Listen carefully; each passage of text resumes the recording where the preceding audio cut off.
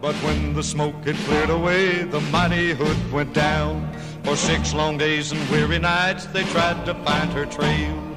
Churchill told the people, put every ship a sail, cause somewhere on that ocean, I know she's gotta be. We gotta sink the Bismarck to the bottom of the sea. They find that German battleship that's making such a fuss. We gotta sink